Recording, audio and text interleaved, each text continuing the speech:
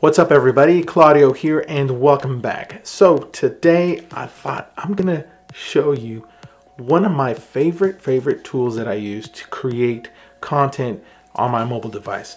My phone is with me pretty much everywhere I go and I'm constantly taking pictures using them to create graphics, images that I share on social media and anywhere. And this app is amazing, it's easy to use. So I was gonna give you a couple of tips things that I do to create content. But before we go any further, let's run the intro.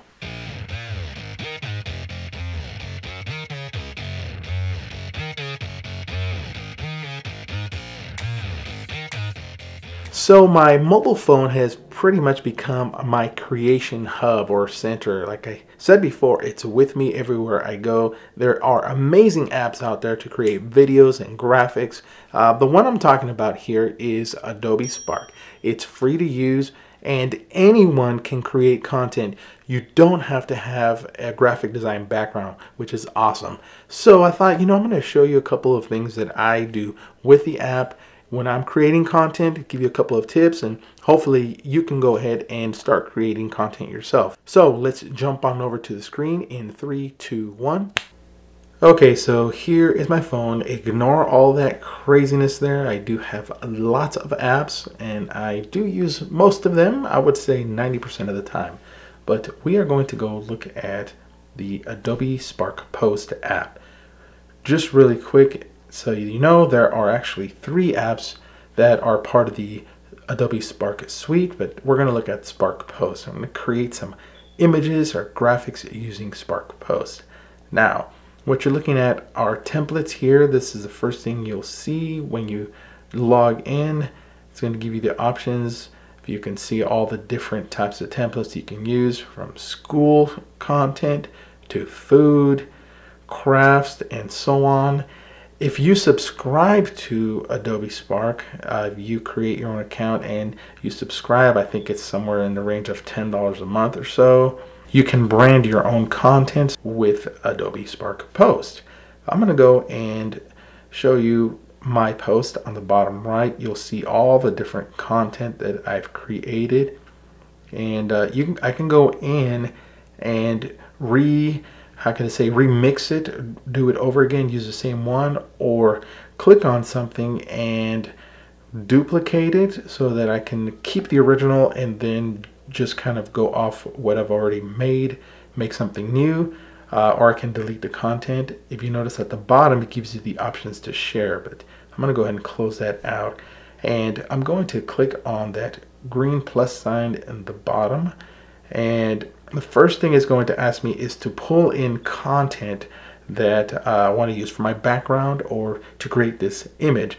Um, you can create solid backgrounds, patterns, content from uh, your photo library. You can also take an image and bring it in right there. Let's take a look. And so it's going to ask permission.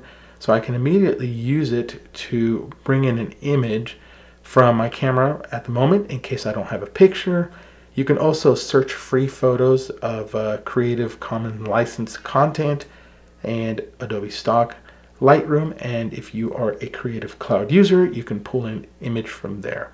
So I am going to go ahead and use images that I already have in my camera roll or photo library. Let's go to all photos here. I've already taken some images beforehand. So let's use, for example, this Batman one here. You can go and add multiple images, but for now I'm just going to use that one.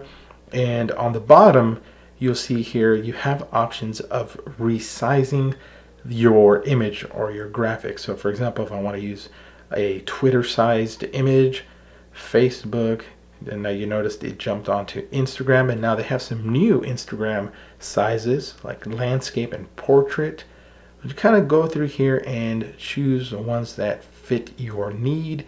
Then you head on over to the furthest right and you'll see different sizes for presentations. It even gives you the ratios. It even gives you ratio sizes, Kindle covers, and so on. So I am going to go ahead and use the Twitter size here. So notice that uh, picture that I took, I really took it with intent to use this in Spark Post. Notice the left side of the little Lego Batman.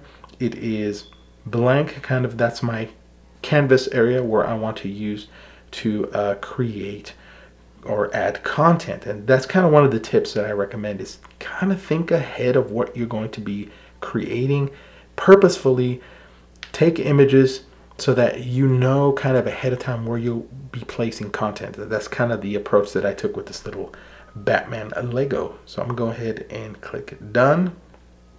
And right away it adds text for me, uh, kind of in a recommended area. I can move that around. Uh, on the lower right corner, you see a little logo. That's because I have a branded account. Uh, so I'm going to go ahead and just leave that brand on the lower right corner. But look what I'm going to do here. So I am going to go ahead and work on this text. Now you notice it says double tap to edit text. So I'm going to double tap in there. And being that it is Valentine's Day as I am making this video, I'm going to go ahead and make it a Valentine's theme image here. So let's see here, Valentine's Day. Uh, let's see, let's do this. Have a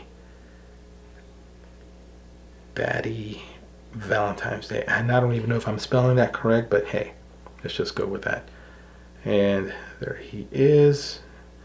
Or I should say, there it is. Let's move that. Uh, the colors may not be what I want, so that's fine. And the text or font may not be what I want. So if you notice, as I scroll through here, I can adjust the font to make it fit what I want it to be. And let's jump on over to shape. I'm going to show you what shape is.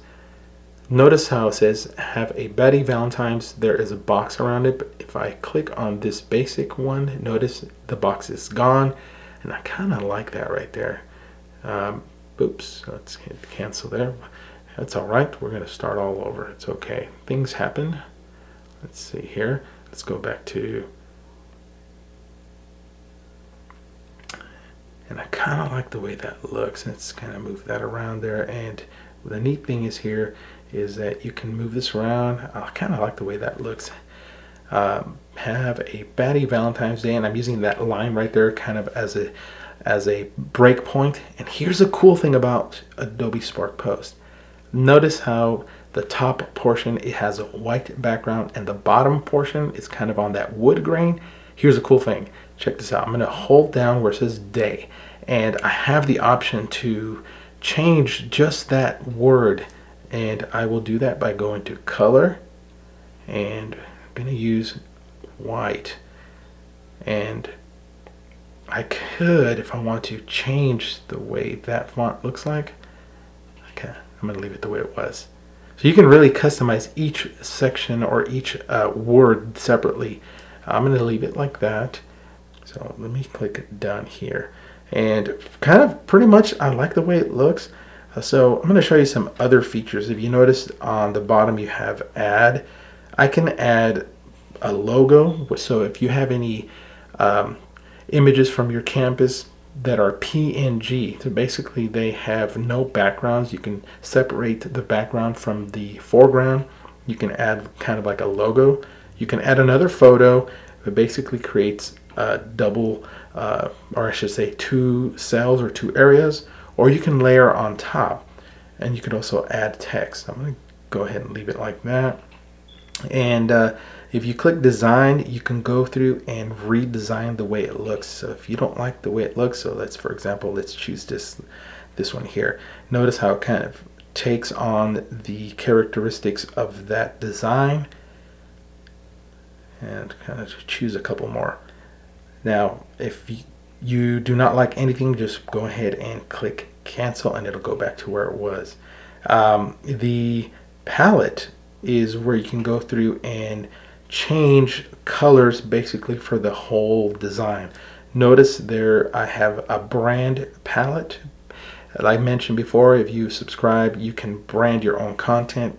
So for you schools or if you have your own little business, you can brand it um, if not, you won't you won't have that brand option if you do not subscribe, which is fine.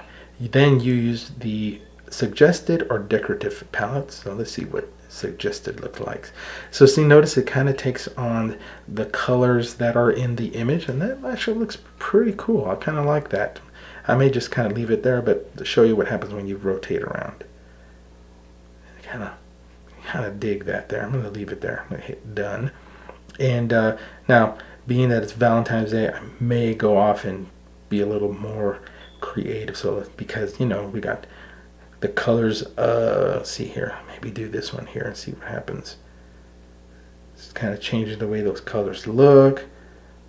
Maybe that right there to kind of fit the Valentine's theme.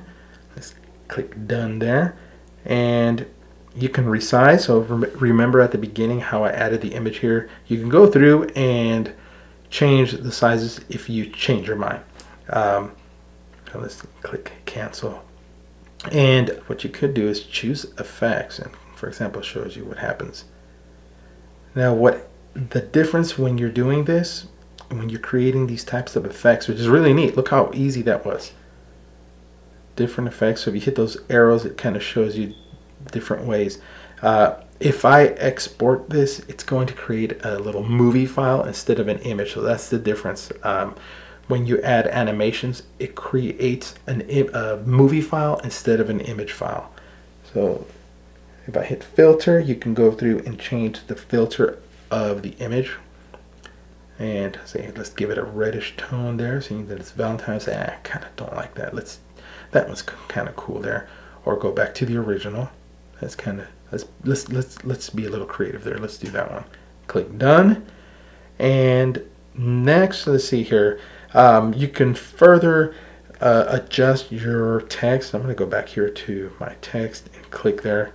Um, I mentioned style. Now, if I use this uh, little green button, here's what happens. If you rotate it around, it will go through and give you a plethora of styles for your wording. Now I'm going to click cancel so I don't make any changes that I don't want. You can go and change color. Again, I mentioned font, shape, adds shape to that box. I'll kind of show you. Almost similar to the style, but you can customize it. Align is what you can do with the font. Align it center, right, you know, that there, centered. And notice how the word day gets larger. I'm going to go back to centered there. Opacity, you can change the way that font looks. Spacing is between kind of like what you do in word processing, you know, the lines. And then if you had order of uh, images on your graphic here, you can move things to front or send to back, kind of like what you do in uh, other uh, creation tools. So let's click done here. And I'm kind of going to leave it like that, just plain and simple. Uh, so now I'm ready to take it from here and share it with others. And that's where we go to share. And, and remember I mentioned that when you add an animation, you have the option to export as a video or you can remove the animation and just have an image. So that's where it says image with no animation. I'm going to go ahead and create a video here. And notice it says creating video. Let that process go through. And now here you have the options of what you can do with the image, share it through social media, messaging it, copying a link, emailing, saving the video, and you have more options if on your device, for example, saving it to your Google Drive, using other apps to kind of share it with, which is pretty cool. So let's go back here and let's go to video again, create the video, and now I'm going to save that video onto my camera roll and now I have it available to share anywhere I'd like I have a little more control of it so after you're done sharing you can either hit my post and it'll take you back to all the different posts that, that you've created and do whatever you want with that image and that is a quick run through. Anybody can create amazing content using Adobe Spark Post. So here we're going to jump it back onto the video screen in three, two, one. And that, my friends, is how easy it is to create content with Adobe Spark on your mobile phone. anywhere you are at and share it with anyone on social media or on the web. So until next time, go out there and create amazing content yourself. I look forward to seeing you again. Please subscribe below. Take care. Peace.